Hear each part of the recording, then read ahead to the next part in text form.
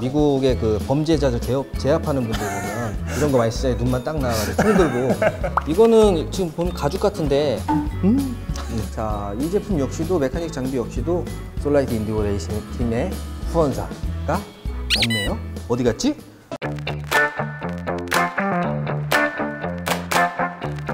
여러분 안녕하세요. 솔라이트 인디고 레이싱 팀의 이지호 감독입니다. 오늘은 서킷 위에 패션 인디고의 OOTD를 알아보려 합니다. 근데 OOTD가 뭐냐?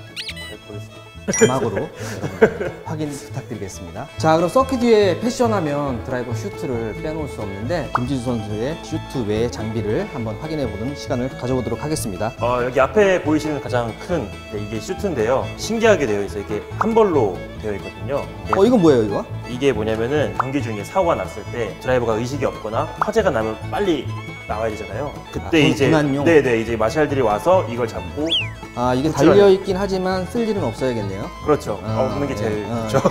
가장 큰 기능 중에 하나가 불연 소재로 다 지금 되어 있어요. 재봉선에도 다 이제 불연 소재의 실로 다 되어 있고 이 마감 처리 같은 경우도 다 이제 불연 소재의 실로 다 되어 있습니다. 아, 전체 다. 네네. 차량에 화재가 크게 발생해도 드라이버를 안전하게 지켜주는 그런 기능이 있고요. 저는 이제 팀을 옮길 때마다 슈트를 이제 새로 1년에 한 번씩 받아서 그러면 슈트가 몇 벌 있겠네. 그렇죠. 보관해요?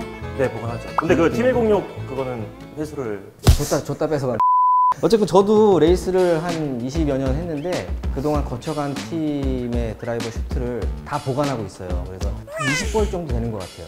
엉덩이가 이렇게 하얀색이면 금방 시커매질 것 같은데 따로 입어도 상관없어요? 방염 기능에는 문제가 없나요? 제가 알기로는 이 드라이버 슈트를 세탁기로 돌리면은 좀더 데미지가 받- 받아서 문제들이 발생할 수 있는데 되도록이면 수- 수세탁을 하는 게 가장 좋습니다. 그러면 이 옷은 수입품뿐이 없어요? 국내에서는 따로 customize를 제작해주는 업체가 있거든요. 저희가 이제 뭐 테스트 때나 아니면 급하게 슈트를 필요로 할 때 그쪽에서 제작을 맡기는 편이고 그쪽에서도 마찬가지로 FIA 인증을 받아서 아, 공인증? 네네네 맞습니다. 아, 이게 여러분들 보시면 FIA에서 이렇게 공인을 해줘요.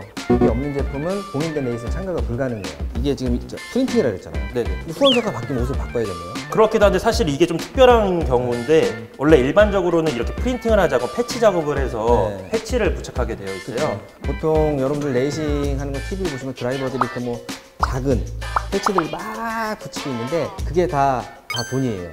레이싱 팀 운영하는 비용 및 다 저희가 노출을 시켜드리는 거죠. 그리고 이제 겉옷은 이렇게 있는데 맨몸으로 입나요, 이거? 팬티만 방염. 입고? 그렇지 않고요. 이제 방염 네일이라고 해서 좀 더 안전하게 보호하기 위해서 이렇게 방염 네일을 입습니다. 기능은 같은 거네요. 네, 그러니까? 가- 같죠. 네. 아, 상의, 그리고 하의 긴팔이네요. 여름에도 긴팔인가요? 그렇죠. 일단 주 목적이 안전이 첫 번째이기 때문에 뭐 최대한 몸을 감... 쫄바지네, 쫄바지. 기능, 기능성 쫄바지. 방염 쫄바지. 어, 책을 다 숭한 자리 갖다 붙여놨지? 이게 또 지금 다 공인 네, 공인 됐다고. 예, 네. 공인 됐다고 이렇게 다. 돼 네, 여기도. 마찬가지로 있죠. 그 이거는 레이싱 슈트보다 더 수량이 좀 많이 필요하겠네요. 자주 갈아입어야죠. 그렇죠. 저도 한 세 세트 정도 레이스 네, 한번 할 때 보통 몇 세트 정도 가지고 세 레이스? 세트를 딱 입어요. 연습, 예선, 결승 이런 식으로. 입나요 현장에서? 아니요, 그냥 햇빛에 말려서 있습니다. 햇빛에 알겠습니다. 제 옆에 오지 마시고. 자 그리고 또 이제 양말이 네. 있어요. 네. 양말은 이게 좀 허접해 보인다. 아, 근데 이게 제가 좀 많이 신어서 그런데 이게 좀 약간 기본적인 스탠다드 모델이 더 깊게 올라오는 양말도 있어요. 화염에서 드라이버를 최대한 보호하기 음. 위해서. 여기도 역시나 인증 마크가 네. 이렇게 있습니다. 이건 뭐 이렇게 자수도 안 되고 하니까 네, 네. 실로 그냥 실로 꼽혔네요. 네. 근데 이게 떨어지면 이 양말의 가치가 확 떨어지는 거죠. 그렇죠. 이게 버려야죠. 그리고 슈즈. 이거는 지금 보면 가죽 같은데 음? 고르는 기준이 있어요? 크게 봤을 땐 재질이라고 볼 수 있죠. 네, 천의 재질 여러 가지 재질이 있는데요. 이 드라이버들마다 이제 취향에 따라서 고를 수 있는데 저 같은 경우에는 인조 가죽 같은 경우는 변형이 좀 적어요 상대적으로. 그래서 이제 좀 약간 타이트하게 신는 걸 좋아해서 이것도 역시도 방역 기능이 들어가 있는 거예요. 어 진짜 몰라서 물어보는 거예요. 저도 진짜 나, 도 모르겠어요. 저도 진짜 몰라서 저희 제작진 분께서 확인 부탁드리겠습니다. 계속 드라이버가 이 비가 올때 네. 바닥이 젖으면 네. 페달하고 좀 미끄럼이 발생할 수 있어요. 비 오는 날엔 팀 스태프들한테 왕대접을 받습니다. 레이스에 들어가기 전에 차까지 업어줘 준다거나 아니면 시트에 앉으면 마른 걸레로 헝겊이나 네. 천으로 와서 신발 바닥을 깨끗이 닦아줘요. 이게 미끄러워갖고 순간 삐끗하면 사고죠. 바로 큰 사고가 날 수 있거든요. 비 오는 날 왕대접을 받고 있습니다. 드라이버들. 비 오는 날 그래서 좋더라고요. 자 그리고 이제 steering. 손이랑 닿는 장갑이 있죠. 네. 그립되는 게 되게 중요하죠. 요게 이제 그 steering 재질, 가죽이냐 스웨이드냐 장갑의 소재하고도 되게 중요해요. 밀접한 관계가 있고 그 steering 재질에 따라서 장갑이 바뀔 수도 있고 장갑 재질에 따라서 다른 걸 선택해야 될 수도 있고요. 머리 쪽으로 네. 넘어가서 헬멧을 그냥 쓰진 않겠죠. 그 안에 두건이 있습니다. 이렇게 머리 쓰는 미국의 그 범죄자들 제압, 제압하는 분들 보면 이런 거 많이 쓰잖아요. 눈만 딱 나와가지고 총 들고 이게 천이 좋아서 그런가 되게 좋아요. 좋아요. 네. 착용감이. 그죠 비슷하죠. 그 미국 TV 이거 역시 또 방염 소재예요. 네 맞습니다. 이게 방염 소재로 되어 있고요. 기능성으로도 얇게 나온 것들도 있고 헬멧에 대해서 실로 헬멧의 가장 큰 장점은 뭐냐면은 이제 마이크랑 이어폰이 이제 insert가 헤드셋. 되어 있어요. 네, 헤드셋이 insert가 되어 있어요. 외부의 무전기하고 연결만 되면 그렇죠. 이거 이 하나만 딱 연결하면은 다 이제 되는 거죠. 또 장점이 뭐냐면 추가 parts도 달 수 있어서 네. 보시면 아, 앞에 물 먹는 이, 이, 요 빨대도 달려 있어요. 음, 그래서 여기 여기 호스를 연결해 주면은 바로 이제 물을 먹을 수 있는 거죠. 음, 이 도색은 이 기준이 뭐예요? 기준은 따로 없고요. 헬멧은 드라이버 소유거든요. 네. 그래서 이 드라이버의 색깔을 가장 잘 담아낼 수 있게 드라이버가 직접 의뢰를 해서 페인팅을 하고 또 보시면은 저희 스폰서에 없는 이 로고들도 있어요. 헬멧은 개인 소유이기 때문에 이제 회사에 이제 누가 끼치지 않는 선에서 개인 스폰을 네, 붙일 수가 있죠. 옆에 이거 뭐예요? 이거 볼트 하나 하얗게 지금 두 개가 양쪽에 튀어나와 있는데 한스 제품을 이제 음. 장착하는 연결고리 그 명칭은 한스고 기능적인 부분은 뭐죠? 드라이버가 큰 임팩트를 받았을 때 이게 없게 되면 목이 앞으로 꺾이면서 중추신경제가 다치잖아요. 음. 그걸 방지해주는 그런 네, 그런 사고를 사고에서 네. 드라이버를 보호하기 위해서 네. 장착을 하는 거죠. 제가 물어보고 제가 다 하고 있는데 이거 어떻게 되나요? 아, 하세요. 네, 좀 네. 한스는 시트에 고정이 되고 드라이버는 머리를 이렇게 그렇죠. 여기서 사- 어 많이 안 움직이네. 네네. 그 앞에 끙 사고가 나면 딱 쿡, 네. 아, 머리를 잡아주는 거. 네. 작년에 방생 경기장에서 제가 살았죠. 그래서 이 한스 같은 경우는 그런 큰 임팩트가 있을 때 네. 한스 자체를 갈아주는 게 아니고 이 strap을 갈아주시면 됩니다. 아. strap이 그런 큰 충격을 받으면 늘어, 조금씩 늘어나게 되어 있어요. 다음에 또 임팩트가 있을 때 전번보다 못하게 좀 드라이버들을 지켜주겠죠. 그럼 이게 그때 사용했던 한스예요? 네, 그때 사용하는 한스. 어. 그래서 strap을 갈았어요, 제가. 아 갈았어요? 네네. 그러니까 제가 재보니까 길이가 다르더라고요. 아 이게 늘어나서? 네네. 저는 이거 한 번도 안 바꿔봐서 저는 사고를 잘 안 내요. 돈이 많이 들어가는 드라이버가 아니었어 난. 그런데 아까 말씀 잘하셨는데 드라이버 장비들이 제가 알고 있기로는 그 기한이 있어요. 사용 기한이. 네, 맞습니다. 그 기한이 끝나면 제품이 뭐 사고도 없고 멀쩡해도 레이스에 사용을 못 하는 거죠. 네, 그렇죠. 대회들마다 그 사용하는 그 피아 넘버가 있어요. 여기 보시면은 여기 8858-뭐 2010 이런 식으로 써 있는데 어, 그 번호 노출되면 안 돼요. 아, 그런가요? 어, 그럼 이거 아니야 괜찮아. 네. 그냥 한 얘기야. 아, 네. 대회 그 regulation에 보시면은 그 장비에 이 serial number를 가진 장비는 참가할 수 있다 없다 이런 걸 정해놔요. 그런 거를 잘 따져 보시고 장비를 바꾸, 바꾸든가 이렇게 하셔야겠죠. 아, 이게 그럼 전체를 따지면 비용이 어느 정도나 되는 거예요? 대략적으로 한 천만 원 이상 하지 않을까. 천만 원 이상? 네. 거기다 천만 원 이상 되는 개인 장비를 1년 정도 주기로 계속 바꿔줘야 되는. 네, 그렇죠. 와 이게 차에만 돈 들어가는 게 아니네. 그렇죠. 드라이버의 안전에 이제 있어서 중요한 장비들이니까 저는 개인적으로 자주 바꾸는 것을 추천드리고 있습니다. 이렇게 해서 드라이버 개인 장비를 지금 알아봤는데요. 저도 이제 알고는 있지만 뭐 김수한테 모르는 척 물어보기도 하고 지금 이 시간에 다 말씀을 못 드린 부분도 아마도 있을 거예요. 여러분들 댓글로 질문 달아주시면 저희가 성심성의껏 답변 드리도록 하겠습니다.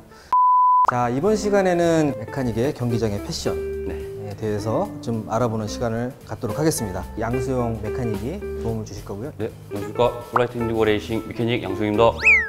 자, 그럼 장비가 쭉 네. 나와 있는데 지난 시간과 마찬가지로 이제 드라이버 장비하고 비슷한 것들이 되게 많아요. 많은데 슈트부터 볼까요? 자, 이 블랑팡 때 이거 입- 입으셨다고요? 네, 실제로 어, 입었던 현장에서? 슈트입니다. 그럼 이건 mechanic 복이에요? 아니면 드라이버 복이에요?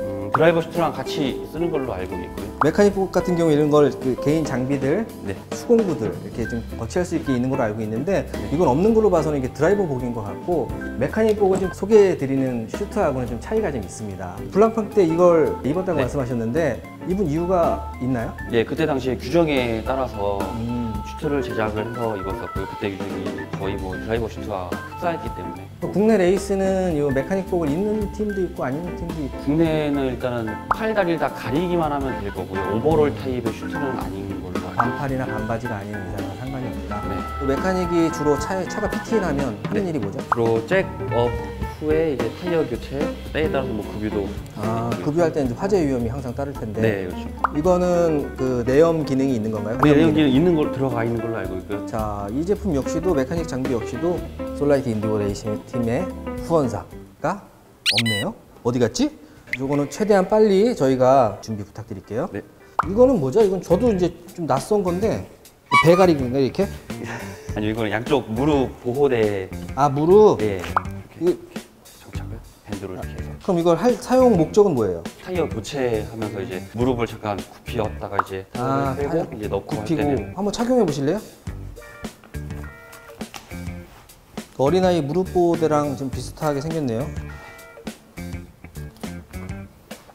자 이제 소개를 시- 시켜드리면서 하나씩 착용을 시켜보도록 할게요. 뒤에 차가 있으니까 네. 한번. 페달록을 휠너트를 풀게 됩니다. 네. 풀고서 타이어를 빼고 근데 지금 아, 무릎을 한쪽만 이렇게 꿇는데 양쪽은 필요 없을 것 같은데 양쪽 네 저는 그래도 양쪽 무릎 다 보호받는 게 좋아서요. 한쪽만 하면 좀 이상하긴 하겠다. 요거부터 궁금한데 뭐죠 이건? 네. 요거는 이제 방염 이제 팔 토시인데요. 브레이크 디스크 로터 교환이라든가 이제 서스펜션 쪽 작업을 할 때 굉장히 뜨겁기 때문에 아 레이스 중에 네, 팔 쪽을 아. 보호하기 위해서 그쵸 레이스 중에 차가 갑자기 들어오면 로터 온도가 보통 4,500도 정도 되는데 그 옆에서 주변에 작업을 하려면 이런 게 있, 긴 있어야겠네 예.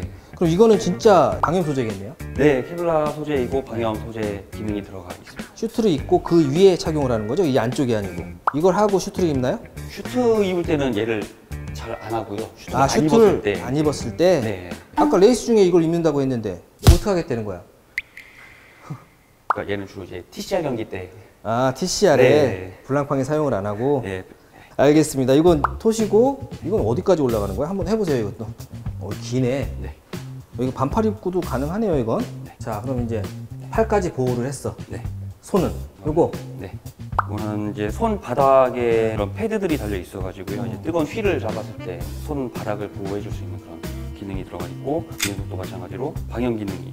아, 그 메카닉 전용으로 이렇게 나오는 네, 거네. 맞습니다. 어, 뭐 이건 또 신발하고 또 깔맞춤을 하셨네? 이건 어떻게 팀에서 선택하는 거예요? 아니면 개인적인 취향이에요? 요거는 팀에서 선택을 해 준 거고요. 개인적으로 이 연두색이 마음에 들어요? 얘 초록색 좋아합니다. 자, 그럼 이것도 껴보세요. 한번. 자, 그 다음에 이제 헬멧이 있는데 드라이버 헬멧하고는 좀 차이가 있어요. 가볍고 작고. 평상시 이렇게 반모 스타일로 쓰다가 대회 때는 이제 고글을 내려야 아, 합니다. 대회 때. 네. 지금 바라클라바 하시면 노출되는 부분이 눈 쪽인데 네, 눈과 눈은 이제 코. 이걸로 네. 이제 보호를 하는 거네요. 네, 맞습니다. 그리고 어 잠깐만 이거 헬멧 혼자 쓰는 거예요? 아니요, 이거 공용으로. 어, 최근에 누가 썼어요 이거? 본인이 쓴 거 맞죠? 예, 맞습니다. 어, 이거 이거 뭐예요 이거? 여자 머리카락이 있는데 아, 갈색에 머리카락이 쫙 나온 여자친구 있어요? 아니 없습니다. 어, 이거 뭐지? 자 본인 인정하세요 여자 머리카락 맞죠? 예, 맞습니다. 피고 말씀하세요 네. 변명 해 보세요 자 그럼 이제 이거 착용해 볼까요? 헬멧까지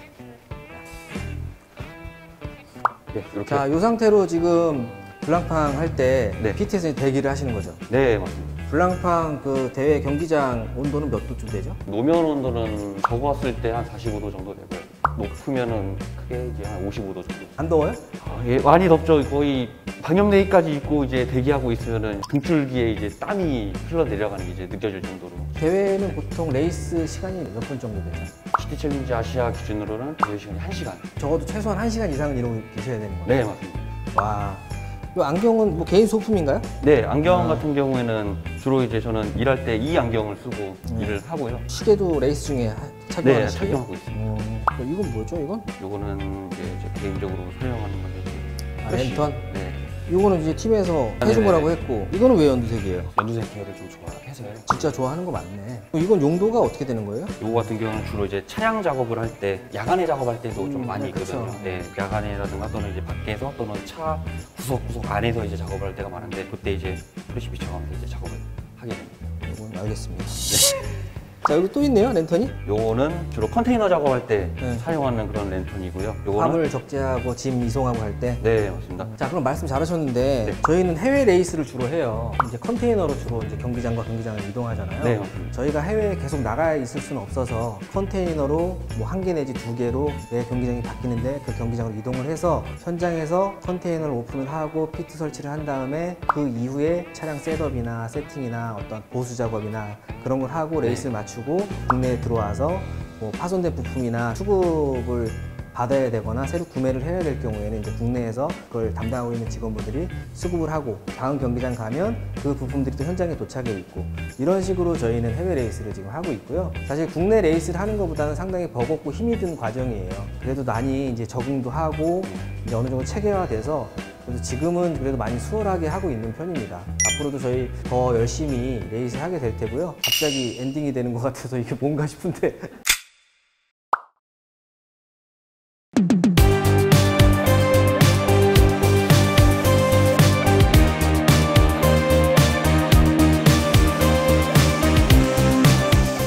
죄송해요. 한 번만 다시 하겠습니다. 지금 못 따라가가지고.